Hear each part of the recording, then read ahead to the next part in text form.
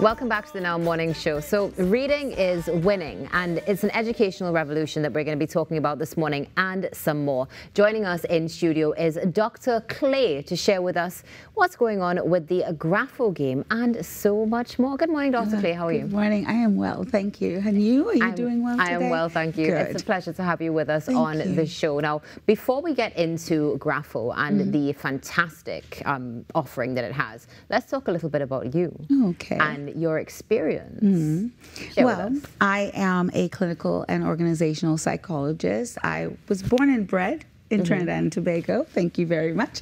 I left at the age of 10, and every summer I was strongly encouraged to be here Mm-hmm. to reconnect with my culture. And basically, from going to school here up to within, you know, elementary school and then going abroad, I was an individual that struggled Mm-hmm. with learning. And so for me, when I came back after becoming a doctor, I came back in 2007, and my push was to make sure that we were connecting with individuals that were just like myself, mm-hmm. as well as ensuring that we're raising awareness about mental health and pushing that through literacy. So that has been my biggest push so far. So even though with some of the learning struggles that I may have had, for a master's and a PhD later, it had nothing to do with my brain. It just basically had to do that I learned differently. Differently, Yes. definitely. And of course, this is something that we see not just with children, but with Mm-hmm. adults as well. But let's go back to that the relationship between liter- literacy and mental health. Mm-hmm. Why do you believe it's significant to our society in Trinidad and Tobago?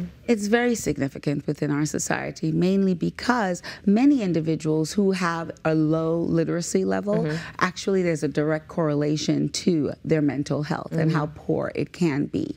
Mainly because individuals with low literacy levels do not have the words or the language or the expressions. They're not able to verbalize Right. how they're feeling, why it is they're feeling this way, or being able to access resources that I know many organizations within Trinidad and Tobago have mm-hmm. shared many resources for individuals for mental health, mainly during and post the pandemic, of Yeah. course. Pre pandemic, you know, within our culture, mental health has a stigma, you mm-hmm. know, so it's not, many individuals feel as though when they come to see me, that when they come to higher potential for learning, that's the name of my practice, that they're coming because something is wrong with them, that Yes. they're, you know, forgive me for using the word, but crazy, mm-hmm. basically, is what they would say.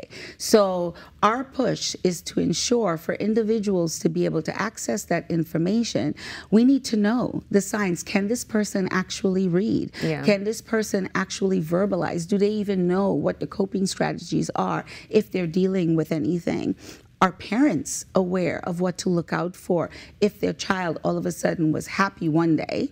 And then the next day, this child is now extremely sad, mm-hmm. does not want to go and take a shower, does not want to leave their room. You know, when a teacher sees a kid not sitting still, or when a teacher sees a child flipping letters or things like that, do they know, are they aware this is a flag for a specific deficit or for specific learning disability of sorts, you know, things like that. So that's where higher potential for learning comes in. We are pushing for that. So the Grapho game, which I know you're going to talk about in a mm-hmm. few minutes, is our version of our drop in the bucket, you know, to create the tsunami of change. That This is what so, we're doing. This is so beautiful because you, many times one wouldn't necessarily correlate a game with mental health in that particular Mm-hmm. context that you just gave to us.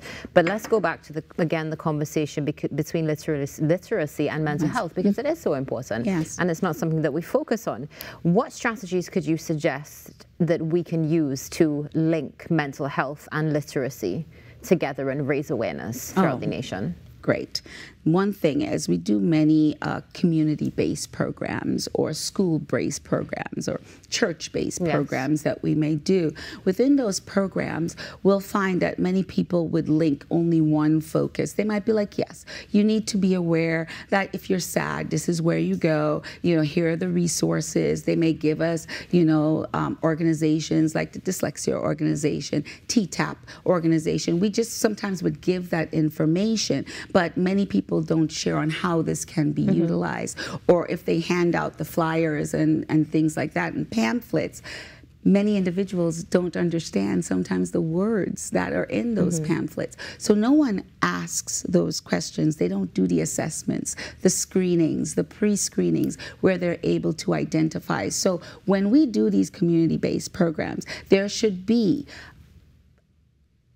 several individuals who are competent in different areas, several individuals that are coming along. And, you know, I recognize many of my colleagues are going to be like, yes, but we can't afford that. Right. Yes, I get that. Many of the, those cases, we can't afford that. But um, many of the things that I do in Trinidad and Tobago are pro bono. Mm -hmm. And you know what? We have to start somewhere. You know, I can't do all of that by myself. Right. If I give up six weeks out of the year to go to different islands within the Caribbean to do different things, then, you know, maybe one of those times a colleague could come for two days out of that time. Mm -hmm. It isn't, it does not affect us so greatly, you know, as far as our bottom line is mm -hmm. concerned. You know, you, I'm not saying that you rob Peter to pay Paul, but yeah. I am saying that you recognize from where you came from, who took a pause pause and actually gave you the time of day at that moment to allow you a foot in the door or to be like, wow, I see you're struggling. Mm -hmm. You know, your glasses are all taped up and it looks like you haven't had an eye exam in a while.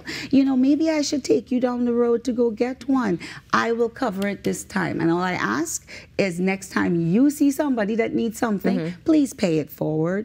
And yeah. that's the only thing that I'm asking. So that's what we push at Higher Potential for Learning. I go into schools and I do free workshops for parents. Mm -hmm. I have no issues coming into schools mm -hmm. and working with the principals, with the Ministry of, of Health or the Ministry of Education to do some training programs because not every teacher knows what to look out for if a child is depressed or if the child can't read or do their maths or whatever the case may be you know, or a child is anxious or depressed. You know, they don't know. No, they don't know. For. And there's definitely, I mean, just seeing it in our schools as well, there is a high level of that. And many times children are looking for somebody to talk mm. to and may not even feel comfortable speaking to their teacher, let's be no. frank about it, or even yes. the on-site counselor. Most definitely. And go externally. So it's great that um, you offer these services, mm. but also the fact that you are keen on pushing the agenda of literacy is linked to this. Yes. And this is something that we need to pay more attention right. to.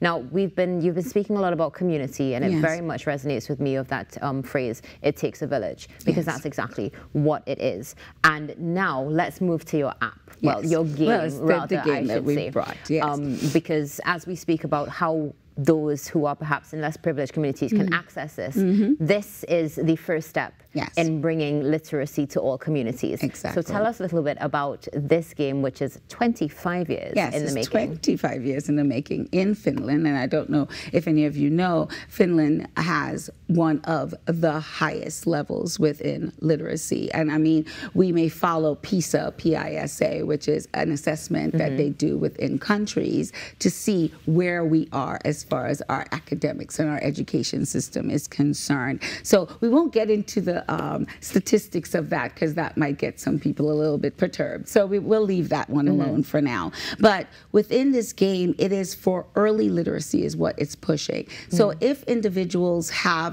a reading deficit, possibly they may have dyslexia, mm -hmm. this game helps people to be able to recognize what letters are, what the sounds are, string those sounds together to create words, right. and it meets the child where they are, okay. child or adult adult, and I'm saying it reaches from four plus, mm -hmm. right? And I say four plus mainly because we have many adults that are not able to read that may be dyslexic and have mm. never been evaluated or assessed and they have done a great job of masking for yes. so many years and you know making different excuses oh i don't have my glasses oh read that naughty words are so tiny you know they'll, they'll throw all these little things in there so this game is something they're able to do privately. They're able to download it for free. Mm -hmm. My practice has paid for this for Trinidad and Tobago. Mm -hmm. They can download the British English version specifically, not the American version, the mm -hmm. British English version. They're able to download it for free. They can, once they only need internet to download the game, and after that, they can play it offline. So if parents are able to opt in, then we are able to track and see how many children have downloaded the game or parents have downloaded the game and how the child is progressing. So there is like a little checkbox that says, do you want to opt in for us to be able to follow mm-hmm. your progress? And if not, then we just will be able to see how many people downloaded it. So since I've launched this in Trinidad, I launched it in early February. And since I've launched it, only 2,000 people have downloaded the game. Right. And, and it's free. Our favorite thing. Free, okay? So please recognize that it is something that is going to be helpful for adults as well mm -hmm. as mm-hmm. for children. And especially now in our bilingual community, yes. if individuals wish to learn from Venezuela or whatever other country that you come from, want to learn English, this is another way. And you could do it privately without being embarrassed or, you know, feeling a hoe, as they would say, if somebody sees I playing this little child game, you know, yeah. that kind of of thing. So yeah. So one of the things I also saw when I was just going through the press release for this is that it's not just about um, building tools for literacy; it's also mm. emotional support. Yes. Can you is. share with us a little bit about yes. that? Yes. So if you have ever been around specifically a child or an adult who has had deficits in academics. Mm -hmm they feel, especially reading, they feel extremely isolated. Mm-hmm. They have low self esteem. There's no confidence. They're afraid to speak out mm-hmm. in any public setting. You know, most people will be like, oh, that's how he is, man. He just quiet. They'll make excuses yes. for that individual, but that person does not grow there isn't any emotional growth for that individual. That individual kind of restricts themselves into the different things that they may do. Mm-hmm. And we will find in that person there are higher chances of depression, higher chances of anxiety, um, higher cases where that individual is leaning towards maybe drugs or alcohol or other different um, fetishes that we may not want to mention on television that are inappropriate mm-hmm. for that person to be part of. And because they're not able to access the resources of here is a text that is teaching you the coping strategies of how to deal with your anxiety at this moment. Here are signs that people post in offices and things that say, pause. Yeah take a deep breath, you know, ground yourself.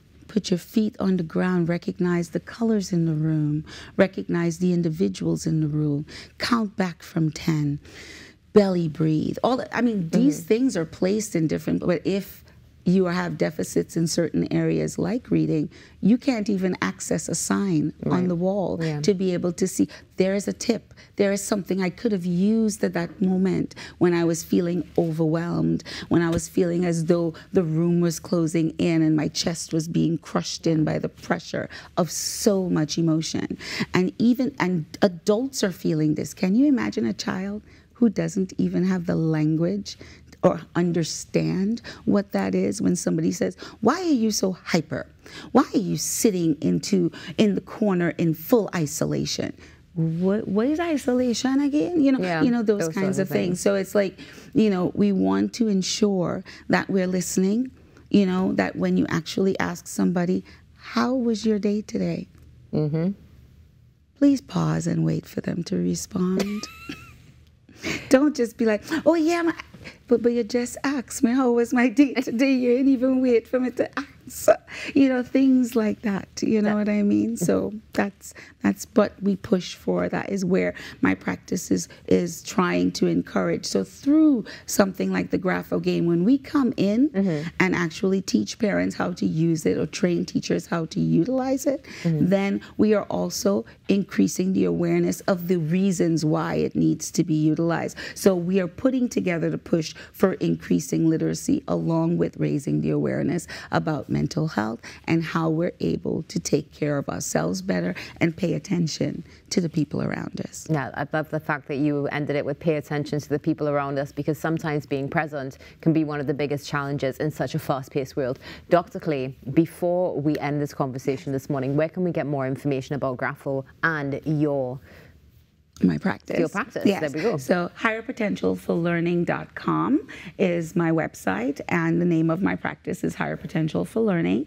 My telephone number on WhatsApp is 702 528 1276. The link for the Grapho game is on the website as well. And I am in Couva, 3 Carlos Street in Couva, right behind Holy Faith Convent. Convent girl. Oh, yes.